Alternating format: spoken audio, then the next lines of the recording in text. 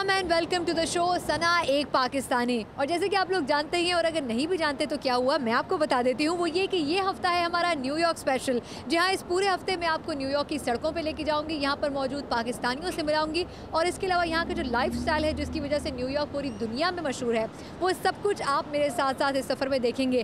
شروعات ہم نے کل کی تھی یہاں کے کونی آئلینڈ سے، جسے پاکستانیوں کا گڑھ کہا جاتا ہے۔ یہ کہا جاتا ہے کہ یہاں بہت بڑی تعداد میں پاکستانی موجود ہیں اور اس کے علاوہ یہاں پر ان کے بہت سے بزنس اسٹریٹجسٹ بھی ہیں۔ ان سے میں نے کل بھی ملاقات کی تھی، آج بھی میرا یہ سفر جاری رہے گا۔ اس سفر میں آپ نے میرے ساتھ رہنا ہے، کہیں جانا نہیں ہے۔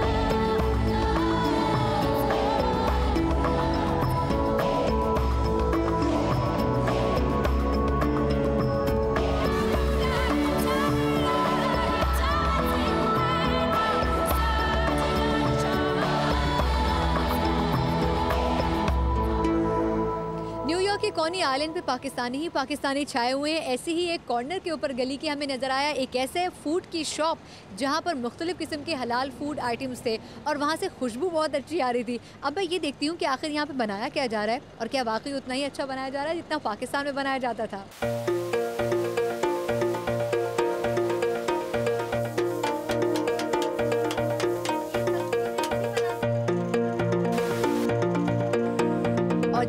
شاپ کے اندر جو کہ ٹرک نما جانے والے ہیں یہ ہے صادق صاحب کی شاپ۔ صادق جو اس ٹرک کے آنر بھی ہیں۔ اب ذرا میں دیکھتی ہوں کہ یہ بنا کیا رہے ہیں۔ صادق کیا بنا رہے ہیں؟ میں لیم سینڈوچ بنا رہا ہوں۔ اچھا تو یہ میرے لیے بن رہا ہے؟ ہاں۔ اچھا۔ اچھا یہ بتائیں کہ کتنے عرصے سے یہ شاپ کھولی ہوئی ہے؟ یہ ایک ماہ ہو گیا ہے۔ اور آپ؟ میں یہاں پہ کام کر رہا ہوں یہ پہلے بھی ایک دو تین سال سے یہ چل رہا ہے۔ اچھا۔ تو آپ کی اپنی شاپ ہے یا کسی اور کی ہے؟ نہیں یہ کسی اور کی میں یہاں پہ کام کرتا ہوں۔ کتنے گھنٹے روز کام کرتے ہیں؟ کیونکہ میں جب سے اس سڑک پہ گھوم رہی تھی اپنے شوٹ کے لیے پروگرام کے لیے مستقل یہاں لوگ آ رہے تھے تو میں نے کہا اس کا مطلب ہے سادے کے ہاتھ میں ذائقہ بہت ہے۔ جی۔ تو کیا کیا ڈشیں بناتے ہیں یہاں پہ؟ ہم چکن رائس بناتے ہیں اور چکن سینڈوچ بناتے ہیں لیم رائس بناتے ہیں لیم سینڈوچ بناتے ہیں چکن کوفتہ لیم کوفتہ یہ وغیرہ۔ یہ آپ نے سب سیکھا کہاں؟ میں یہاں نیو یارک میں سیکھا ہے۔ نیو یارک میں آ کے یہ سب سیکھا پاکستان سے کب آئے؟ پاکستان سے سات سال ہو گئے ہیں۔ اور یہ کام کب سے کر رہے ہیں چھ سات سال ہو گئے یہی جب سے میں یہی کام کر رہا ہوں۔ تو آپ نے آنے کے بعد یہ سیکھا تو آپ نے اپنا ریسٹورینٹ کھولنے کا سوچا ہے؟ ہاں انشاءاللہ۔ انشاءاللہ۔ پاکستان جا کے یا یہاں پر؟ نہیں یہاں پہ۔ اچھا تو اس میں کسی کی سپورٹ چاہیے ہوگی یا آپ خود محنت کر کے اپنے پیسے جمع کر کے کھولیں گے؟ نہیں اپنے پیسے جمع کر کے کھولوں گا۔ اچھا پاکستانی ہونے کی حیثیت سے آپ اتنے سالوں سے یہاں پر ہیں کبھی کوئی مشکل پیش آئی نیو یارک میں خاص طور پہ؟ نہیں۔ لوگ کیسا بیہیو کرتے ہیں یہاں پاکستانیوں سے؟ بہت اچھا۔ اچھا۔ ہاں۔ تو پاکستان میں جو ایک خیال پایا جاتا ہے کہ خاص طور پہ نیو یارک میں جب سے وہ نائن الیون کا واقعہ ہوا ہے پاکستانیوں کو بڑی مشکل پیش آئی ہے۔ تو مجھے اس لیے یہاں کے لوگوں سے جاننا ہے کہ واقعی انہوں نے یہاں مشکل وقت دیکھا ہے؟ نہیں میں نے تو نہیں دیکھا ہے۔ اچھا۔ ہاں۔ اتنے سالوں میں آج تک مجھے کسی نے تنگ نہیں کیا نہ کوئی بات کی ہے مجھ سے۔ تو پاکستان میں آپ کہاں سے تعلق رکھتے ہیں؟ میں ٹیکسلا سے۔ ٹیکسلا سے ہیں۔ تو یہاں پڑھنے کے لیے آئے تھے یا جاب کرنے ہی آئے تھے؟ نہیں میری سب فیملی یہاں پہ ہیں تو میں یہاں جاب کرتا ہوں۔ خوشی محسوس کرتے ہیں کہ اپنے ہاتھوں سے کما کے خود کھاتے ہیں کسی کے اوپر بوجھ نہیں ہے۔ ہاں۔ پاکستانی جو ہمارا یوتھ ہے اس سے کہنا چاہیں گے کہ خود پڑھو لکھو خود محنت کرو۔ بالکل۔ خود پڑھ لے کر محنت کرو اور خود اپنے ہاتھ سے کماؤ۔ کسی کے لیے ہاتھ مت پھیلاؤ کہ وہ تمہیں دیں تو یہی کوشش تھی آپ کی جس کی وجہ سے آپ نے شروعات کی اور پھر اب ریسٹورینٹ کا سوچا ہے انشاءاللہ۔ تو ریسٹورینٹ میں آپ ہمیں اسپیشل آفر دیں گے؟ کیوں نہیں؟ ضرور۔ چلیں ٹھیک ہے۔ لیکن کبھی نہ کبھی پاکستان جانے کے بارے میں سوچا ہے کہ واپس جائیں گے اور پاکستان میں بھی کوئی ریسٹورینٹ کھولیں گے؟ ابھی تین ماہ ہو گئے ہیں کہ میں پاکستان سے واپس آیا ہوں۔ اچھا۔ جی۔ تو کیا عید کے حوالے سے جانا ہوا تھا؟ نہیں ویسے ہی گیا تھا۔ میرے کزن وہاں پہ رہتے ہیں ان کے گھر گیا تھا۔ چلو ٹھیک ہے۔ پاکستان کو مس کرتے ہیں؟ کیوں نہیں؟ ہر دن۔ یہاں پر جو پاکستانی دوست ہیں آپ کے کیا وہ واقعی پاکستان کا اچھا امیج بناتے ہیں؟ کوشش کرتے ہیں۔ کوشش مطلب ہے کہ پاکستان کا نام بدنام نہ ہو، ایسا کام کرتے ہیں۔ چلیں، بہت بہت شکریہ۔ صادق ان چند پاکستانیوں میں سے ایک ہے جو محنت کرتا ہے اور روزانہ دس سے بارہ گھنٹے کام کرتا ہے۔ اور اس وقت میرے لیے سینڈوچ بھی بنا رہا ہے۔ یہ بھی اس کی ایک ایکسٹرا محنت ہے۔ لیکن یہ کہتا ہے کہ میں پاکستان سے دور ہونے کے باوجود بھی اپنے پیروں پہ کھڑا ہونا چاہتا ہوں اور میں یہ چاہتا ہوں کہ ہر پاکستانی یہی کرے اور صادق بھی یہی کر رہا ہے۔ تاریخ بہت پرانی ہے اور اسے بننے میں کئی سال لگ گئے۔ ایسی ہی کئی دہائیوں کا سفر عموماً کہا جاتا ہے کہ کتابوں میں بھی محفوظ کیا جاتا ہے مختلف شہروں کے حوالے سے، لیکن آپ کو ایک ایسی شخصیت سے ملواتے ہیں جس نے کیمرے کی آنکھ سے نیو یارک کی ہسٹری کو محفوظ کیا ہے۔ اور اسے ہمیں ملوا رہی ہیں ہماری ساتھی رپورٹر آمنہ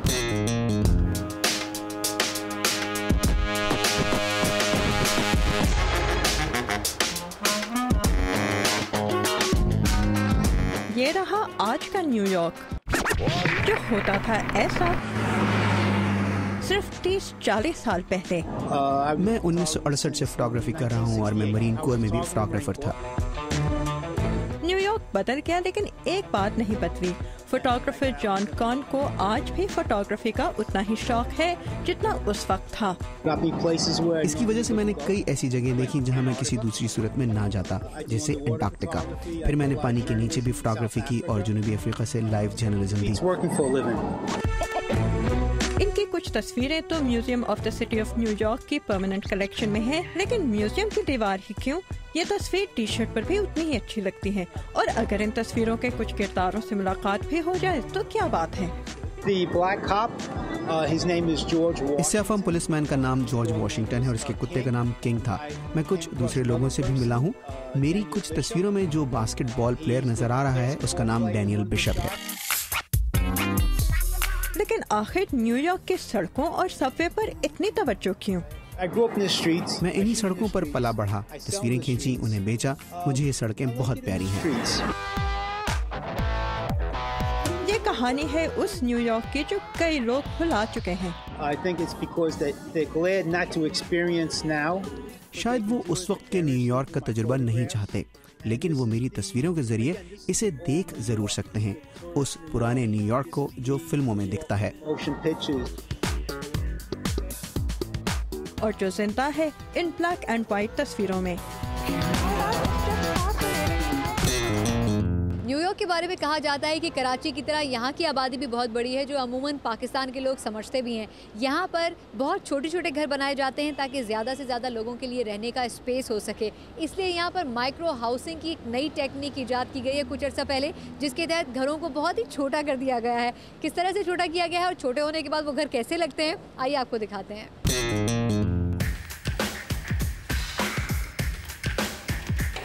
تین سو مربع فٹ۔ مستقبل کا اپارٹمنٹ شاید اس سے بڑا نہ ہو۔ خاص طور پر نیو یارک جیسے شہر میں، جہاں اس قسم کے چھوٹے اپارٹمنٹ یا مائکرو یونٹس کی منصوبہ بندی لوگوں کے بدلتے ہوئے طرز زندگی کی ایک نشانی ہے۔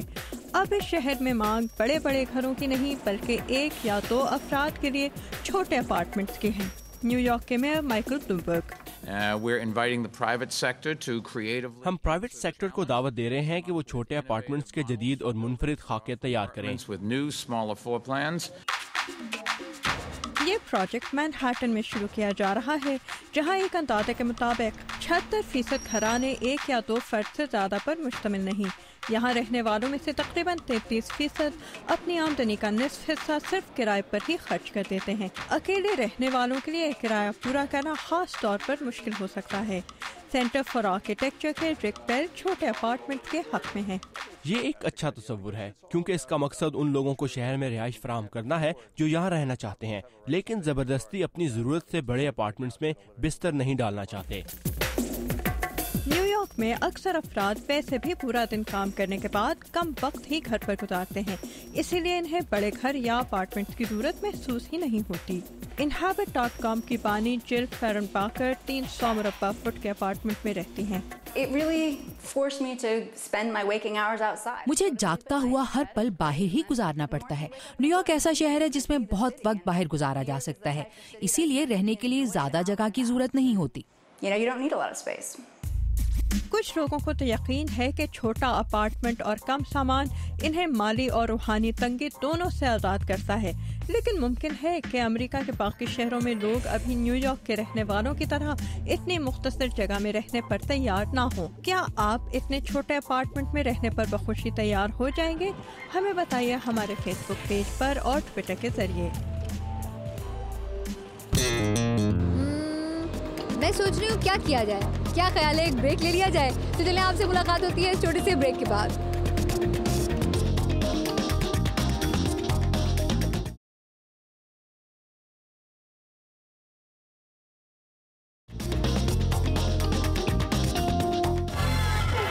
یارک کی سڑکوں پہ چلتے ہوئے خاص طور پہ کونی آئی لینڈ کی اس سڑک کے اوپر مجھے بہت سارے پاکستانی نظر آئے ہیں اور ایک ورک شاپ ایسی نظر آئی ہے جہاں پر مجھے لگتا ہے کہ بہت سارے پاکستانی مکینک کام کر رہے ہیں۔ کتنی محنت سے وہ یہاں کام کرتے ہیں اور کیا یہی کام پاکستان میں کرتے ہوئے ان کو کبھی شرمندگی کا احساس ہوا یا نہیں؟ آئیے ان سے پوچھتے ہیں۔ السلام علیکم۔ بھائی کیا نام ہے آپ کا؟ ناصر۔ ناصر بھائی یہ بتائیے گا کہ آپ ویسے تو گاڑی ٹھیک کر رہے ہیں تو پتہ اندازہ ہو گیا ہے کہ آپ خاص طور پہ ایکسپرٹ ہی ہوں گے گاڑی کے۔ یہ بتائیں کتنے سال سے یہاں پر ہیں؟ میں یہاں بارہ سال سے ہوں۔ اچھا بارہ سال سے آپ یہ گاڑیوں کا ہی کام کرتے ہیں؟ ہاں جی میکینیکل کام کر رہا ہوں میں۔ تو یہاں آ کر سیکھا یا پاکستان سے سیکھ نہیں میں نے یہاں سے سیکھا۔ اچھا یعنی آپ نے یہاں آنے کے بعد سیکھا؟ ہاں جی۔ اچھا کبھی محسوس ہوا کہ یہ کام کرنے میں آپ اتنے ایکسپرٹ ہو چکے ہیں کہ اگر آپ پاکستان جا کے بھی یہ کام کریں تو کرنا چاہیں گے؟ ہاں جی کیوں نہیں؟ پاکستان اگر ہمیں فیسلٹیز ملے تو ہم وہاں پہ جا ضرور یہ کام کریں گے۔ وہاں پہ ایکچولی یہاں پہ تو ہمیں فیسلٹیز ہے بجلی کی ایکچولی ایوری تھنگ ہے یہاں پہ۔ اور پاکستان میں جو ہم سن رہے ہیں میں تقریباً بارہ سال سے پاکستان گیا ہی نہیں اور میں جو ہم حالات سنتے ہیں کہ پاکستان میں بجلی نہیں ہے تو وہاں یہاں پہ تو ہمارے لفٹس ہیں ایوری تھنگ ہے اچھا بارہ سال سے پاکستان آخر کیوں نہیں جانا؟ وہ کوئی مجبوری تھی یا ویسی ضرورت محسوس نہیں کی؟ نہیں ویسے ضرورت نہیں کبھی محسوس کی۔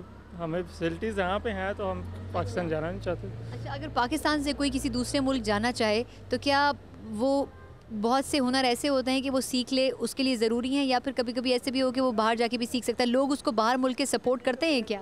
نہیں ہنر ہونا چاہیے۔ خاص طور پہ یہ جو سی میں فیلڈ میں میکینیکل فیلڈ آٹو فیلڈ میں یہ بہت اچھا ہنر ہے۔ آپ آل اوور دا ورلڈ جا سکتے ہیں اور کہیں بھی کسی بھی کنٹری میں آپ جا کے یہ چلیں آپ کے کسٹمر جو ہیں وہ آپ کے کام سے مطمئن ہوتے ہیں؟ ہاں جی ڈیفینیٹلی الحمد للہ چلے یعنی پاکستان کا نام جو ہے وہ آپ نے ڈبویا نہیں۔ اچھا جی ہم ایک اور بندے کے پاس چلتے ہیں جو پتہ نہیں نیچے لیٹ لیٹ کے کیا کر رہا ہے۔ السلام علیکم۔ وعلیکم السلام۔ بھائی کیا کر رہے ہو؟ تم گاڑی خراب کر رہے ہو کہ ٹھیک کر رہے ہو؟ صحیح کر رہا ہوں گاڑی۔ اچھا کام آتا بھی ہے نہیں آتا؟ آتا ہے جی۔ اچھا۔ جی۔ اچھا کیا کیا کام سیکھا ہے یہاں پہ؟ بس دو تین سال ہو گئے ہیں کر ہی رہے ہیں جتنا کر سکتے ہیں۔ اچھا۔ جی۔ اچھا یہ بتاؤ کہ یہیں پر آ کر سیکھا کام یا پاکستان سے سیکھ کے آئے تھے؟ جی تھوڑا سا ادھر سیکھ کے پھر ادھر آ کے لگ گیا ہوں۔ کہاں سے تعلق رکھتے ہو؟ گجرا والا شہر۔ تو گجرا والا کے چڑے تو بہت مشہور ہیں گھر میں بنائے کبھی؟ جی بناتے اچھا۔ اچھا یہ بتاؤ کہ پاکستانی ہونے کی حیثیت سے یہاں پر جو بھی کسٹمرز وغیرہ آتے ہیں کبھی کسی کی وجہ سے کوئی مشکل پیش آئی؟ نہیں۔ کیسا بیہیو کرتے ہیں وہ لوگ؟ صحیح ہے ٹھیک ہے۔ سم ٹائم مشکل ہوتی ہے۔ جی۔ کیا کہتے ہیں؟ یہی بس تھکے ہوتے ہیں ہمارے ہم پہ آ کے غصہ نکالتے ہیں۔ جی۔ کیا کہتے ہیں؟ کیا باتیں کرتے ہیں؟ بس کوئی اپنے پاکستانی بھائیوں سے شیئر تو کرو نا کیا بولتے ہیں؟ نہیں کوئی بات نہیں اتنی نہیں کرتے۔ ویسے ہی بس دکھ سکھ یو نو جی۔ آپ لوگ پھر ان کو کچھ تسلی دیتے ہو اور ایک خاص طور پر یہ کوشش کرتے ہو آپ لوگ ان کو بتانے کی کہ پاکستانی اصل میں ایسے نہیں ہے جو امپریشن دنیا میں جا رہا ہے؟ جی انہوں کو بتاتے ہیں جی۔ چلو بہت شکریہ۔ یہ ان پاکستانی عوام میں سے ہے جو کہ اپنی اپنی سرکل میں رہتے ہوئے اپنی حدود میں رہتے ہوئے یہ کوشش کرتا ہے کہ پاکستان کے حوالے سے جو غلط امیج ہے اس کو دور کر سکے۔ اس میں اس کی محنت کتنی ہے وہ تو اوپر والا جانتا ہے لیکن یہ کبھی مایوس نہیں ہوتا۔ اور تم اپنا کام جاری رکھو تم ایک دن بہت بڑے میکینک بنو گے تھینک یو اچھا جی ہمارے ساتھ ایک اور صاحب موجود ہے السلام علیکم۔ وعلیکم السلام۔ بھائی آپ کیا کرتے ہیں؟ جی میں ہوں۔ اچھا تو کتنے سال سے یہاں پر ہیں؟ تقریباً بائیس سال سے۔ بائیس سال سے آپ یہاں مستقل رہ رہے ہیں؟ جی جی۔ اچھا یہاں پر بائیس سال میں خاص طور پہ نیو یارک میں جب سے نائن الیون کا واقعہ ہوا بڑے گرم و سرد حالات یہاں پر پاکستانیوں کو دیکھنے پڑے۔ کبھی کوئی برا ایکسپیرینس رہا آپ کو؟ بہت زیادہ رہا ہے۔ پہلے تو پانچ سات سال ٹو تھاؤزنڈ ون سے لے کر تقریباً سکس سیون تک۔ بہت سارے ہمارے بھائی ہیں ادھر سے چلے گئے ہیں فیملی تھی ان کے ساتھ۔ لیکن خاص کر مسلمان ہونے کے ناطے ان کو بہت ٹینشن ہی ہے ادھر۔ تو بہت کچھ کینیڈا چلے گئے ہیں کچھ پاکستان چلے گئے ہیں۔ تو آپ لوگوں نے کبھی کوشش کی کہ پاکستان کا جو نیگیٹو امیج ہے اس کو ختم کر سکیں یہاں پر رہتے ہوئے کمیونٹی میں؟ بالکل ہم تو کرتے ہیں لیکن کچھ لوگ ہوتے ہیں جو ایک آدھ آدمی ہوتا ہے اس کی وجہ سے جو ہے سارا سارے پر ملبہ جو پڑتا ہے۔ تو ایک آدمی جو غلط کام کرتا ہے اس کی وجہ سے جو ہم سب پاکستانی سب ٹینشن میں ہوتے ہیں۔ تو اس وجہ سے ہے۔ لیکن اب پچھلے کچھ عرصے میں پاکستان اور یو ایس کے ریلیشن پہ تو خیر میں بات نہیں کروں گی لیکن کیا کچھ عرصے میں پاکستانیوں کی مشکلیں کچھ کم ہو سکی ہیں یہاں پہ؟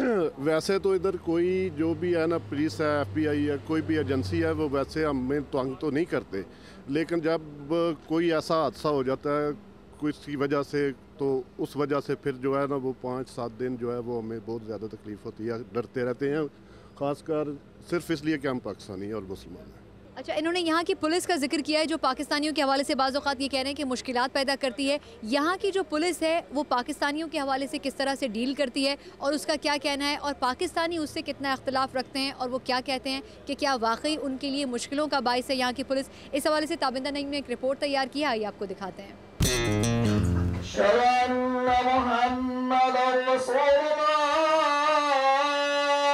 نیو یارک پولیس کی جانب سے چھ سال تک شہر کی مسلمان آبادی کی خفیہ نگرانی کے بعد ایسے کوئی نتائج سامنے نہیں آئے جس سے دہشت گردی کے کسی ایک بھی واقعے میں ان کے ملوث ہونے کے شواہد ملے ہوں۔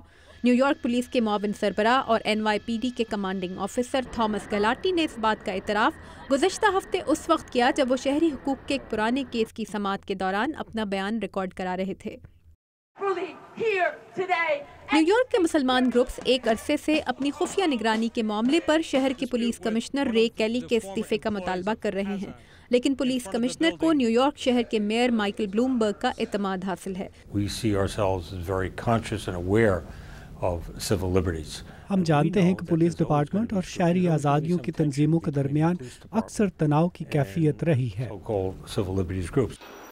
موسا احمد ایک فلسطینی تارک وطن ہے انہیں اپنی کافی شاپ اس لیے بند کرنا پڑی کیونکہ پولیس کی مسلسل نگرانی کی وجہ سے گاہکوں نے ان کی دکان میں آنا بند کر دیا۔ اب یہ ایک بار بار شاپ چلاتے ہیں۔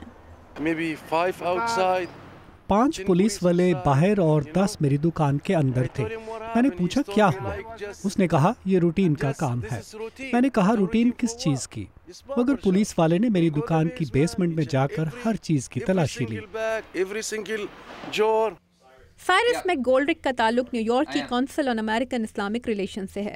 یہ کہتے ہیں کہ نیو یارک کے مسلمان کمیونٹی کے خدشات بے بنیاد نہیں تھے اور یہ بات ثابت ہو گئی ہے۔ خفیہ نگرانی کا مقصد ہمیں محفوظ بنانا نہیں تھا یہ ٹیکس ادا کرنے والوں کے پیسے کا زیاں ہے اور کچھ نہیں۔ نیو یارک کے assistant police chief Thomas Galati کے بیان کے بارے میں وائس آف امریکہ کے رابطہ کرنے پر نیو یارک پولیس نے کوئی جواب نہیں دیا۔ سائرس میکارمک کہتے ہیں کہ امریکی پولیس کو خطرناک مجرموں تک پہنچنے کے لیے امریکی مسلمانوں کی مذہبی یا نسلی شناخت کو نہیں، لوگوں کے رویوں کو نظر میں رکھنا چاہیے۔ کیا خیال ہے ایک بریک لے لیا جائے؟ تو چلیں آپ سے ملاقات ہوتی ہے چھوٹے سے بریک کے بعد۔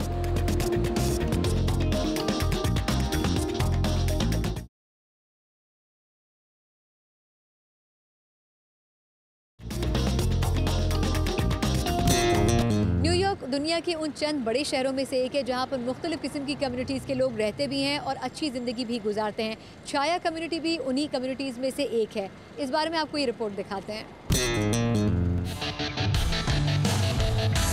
نیو یارک سٹی ہر سال لاکھوں ٹورسٹ کو ویلکم کرتا ہے۔ لیکن جو لوگ اس شہر میں رہتے ہیں، ان کے لیے زندگی ہمیشہ اتنی خوبصورت نہیں ہوتی جیسی ٹورسٹ شاید سمجھتے ہیں۔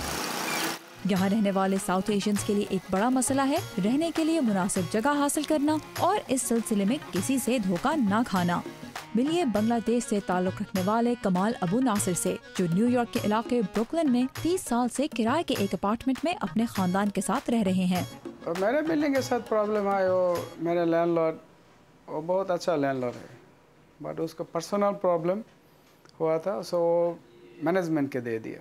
مینجمنٹ تھنک کرتا ہے وہ بھی بہت آدمی کے کورٹ میں نہیں نان پیمنٹ کچھ بھی نہیں کرتا جسٹ کورٹ میں نہیں تھا کورٹ میں نہیں تھا کمال کی مدد کر رہی ہے نیو یارک کے علاقے کوئنز کی ایک غیر منافع بخش تنظیم چھایا کمیونٹی ڈیولپمنٹ کارپوریشن چھایا کی بنیاد گیارہ ستمبر کے حملوں کے پس منظر میں رکھی گئی جب نیو یارک کی جنوبی ایشیائی اور مسلمان کمیونٹی کو خاص طور پر نشانہ بنایا جا رہا تھا۔ ہماری کوشش تھی کہ ان لوگوں کو مدد حاصل کرنے کے بارے میں معلومات فراہم کریں۔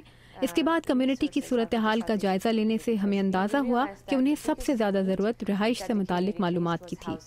آفرین کہتی ہیں کہ جنوبی ایشیا سے آنے والے نئے لوگ ہی نہیں بلکہ یہاں کئی سال سے رہنے والے افراد بھی اپنے حقوق کے بارے میں بہت کم جانتے ہیں۔ کرائے پر رہائش آپ کو مختلف شرائط پر مل سکتی ہے، لیکن ہر کرایہ دار کو کم از کم محفوظ رہائش گاہ کا حق حاصل ہے۔ اگر گھر خطرناک حالت میں ہے تو مرمت کا مطالبہ کرنا آپ کا حق ہے۔ اور اگر آپ کرایہ دے رہے ہیں تو مالک مکان، پانی یا بجلی بند نہیں کر سکتا۔ یہ غیر قانونی ہے۔ چھایا کے دفتر میں رہائشی اور کمرشل جائیداد کے قوانین کے حوالے سے جنوبی ایشیا کی بہت سی مختلف زبانوں میں معلومات فراہم کی جاتی ہیں اور یہ تنظیم صرف کرایہ دار ہی نہیں بلکہ ایسے مکان مالکان کی مدد بھی کرتی ہے جن کے لیے گھروں کی قسطیں ادا کرنا مشکل ہو رہا ہو۔ کمال ابو ناصر کہتے ہیں کہ قوانین کے بارے میں معلومات تبھی مددگار ہو سکتی ہیں جب لوگ مل کر قانون کی طاقت کو استعمال کرنے پر آمادہ ہوں۔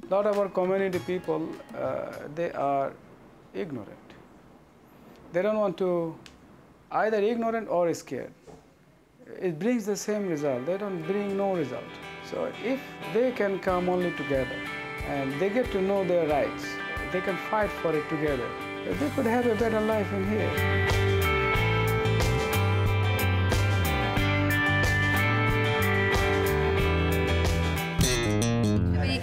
پاکستانی سے ملاقات ہوئی ہے، جو پاکستان کے حوالے سے انتہائی پرجوش ہے اور پوزیسو بھی ہے۔ وہ آخر ایسے کیوں ہے کیا سوچ ہے ان کی؟ انہیں سے پوچھتے ہیں۔ جی تو آخر وجہ کیا ہے آپ کی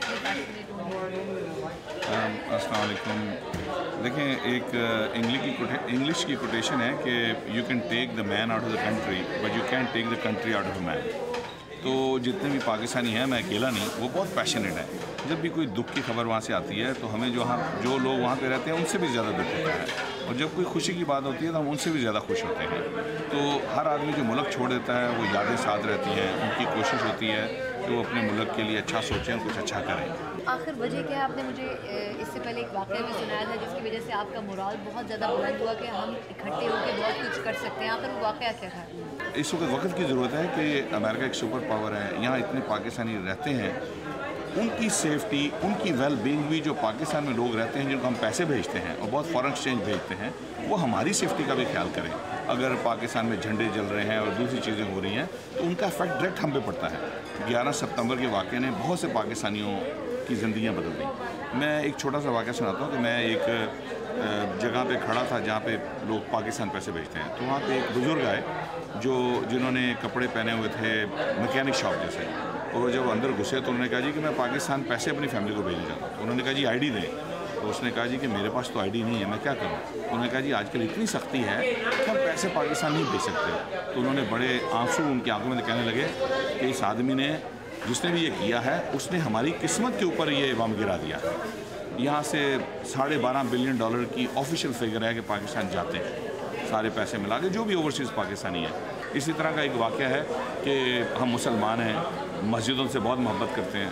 تو رمضان میں ایک مسجد جوپلن مزوری میں تھی، جس کو جو ایکسٹریمسٹ ہیں، کسی نے شہید کر دیا، آگ لگا دی۔ اس کو ایک پاکستانی ہیں جنہوں نے ایک کراؤڈ سورسنگ پلیٹ فارم ہے انڈی گوگو اس کے اوپر ری بلڈ دا ماس کی کمپین لگائی، جس، جو کہ سب امریکن لوگ کرسچن یہودی، وہ لوگ تھے وہاں پہ۔ انہوں نے تین دن میں گول سیٹ کیا، انہوں نے کہ ہمیں ڈھائی لاکھ کی ہماری مدد کریں۔ وہاں پہ تین دن کے اندر تین لاکھ ستتر ہزار ڈالر جمع ہوئے، جو کہ سارے پیسے کرسچنوں، یہودیوں، ہندوؤں، سب لوگ تھے لیکن میجورٹی امریکن وائٹ تھے وہاں پہ۔ Hmm. نیو یارک کے اس پورے ہفتے کے سفر میں دو دن میں نے گزارے نیو یارک کے کونی آئلینڈ میں، جہاں پر پاکستانیوں کی بہت بڑی تعداد رہتی بھی ہے اور بزنس بھی کرتی ہے۔ کل آپ کو نیو یارک کی ایک نئی جگہ لے کے چلوں گی، لیکن یہ کون سی جگہ ہوگی؟ یہ ایک سرپرائز ہے۔ اس لیے کل کا شو دیکھنا مت بھولیے گا۔ تب تک کے لیے سنا پاکستانی کو اجازت دیجیے اللہ حافظ۔